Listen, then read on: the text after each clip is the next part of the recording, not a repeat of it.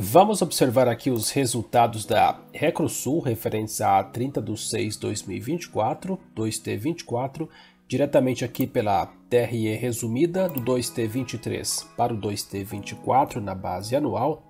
A receita recuou 66,8% de 15.530 para 5.156.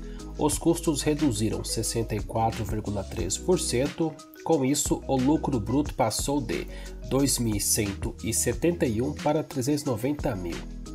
As despesas receitas operacionais reduziram 14,4% e o resultado operacional saiu de 130 mil aqui no 2T23 para menos 1.357 2T24 prejuízo operacional.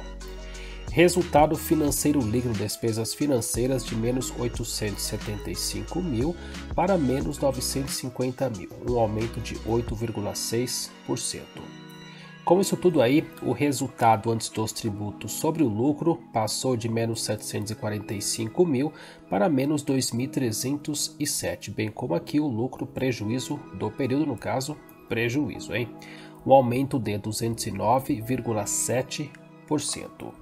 Vamos ver aqui mais algumas informações. Prejuízo acumulado, menos 280.208 e possui aqui uma posição de caixa positiva aqui. Dívida líquida negativa, caixa positivo, menos 37 mil.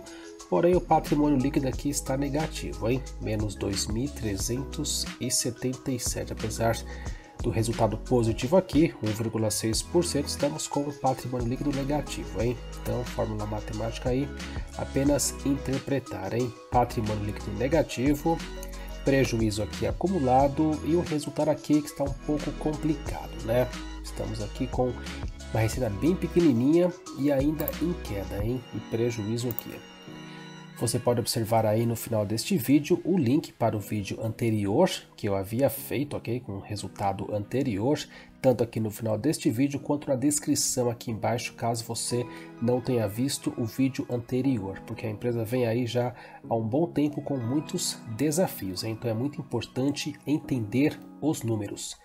Vamos ver o gráfico aqui bem brevemente, aqui no comecinho de 2024, dia 2 de janeiro aqui, fechou lá nos R$ 9,92 e ela vem aí deslizando, né? Teve uma alta aqui no começo do ano, porém vem deslizando desde então. Aqui teve um grupamento de ações também e as ações saltando aqui agora, né? Então é importante aí tentar entender, independente de especulações do mercado, né, ou de movimentos do mercado, é importante procurar entender, né? Porque aqui nós temos uma alta bastante expressiva e depois vem aí a estabilização de novo para os valores anteriores e aqui a correção, né? Observando um pouco mais além aí, já tem estes saltos aí de vez em quando, porém é importante ver o histórico aí também né, da ação e sempre observar os números, hein?